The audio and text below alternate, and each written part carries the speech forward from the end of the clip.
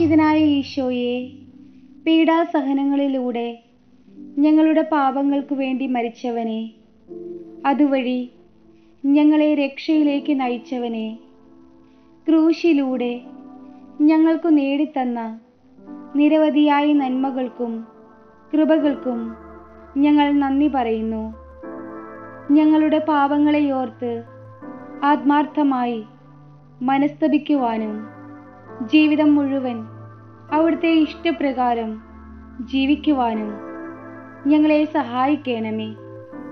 അങ്ങേ അനന്തമായ കാരുണ്യം ഞങ്ങൾക്ക് ഇഹലോകത്തിലും പരലോകത്തിലും വാങ്ങിത്തരേണമേ.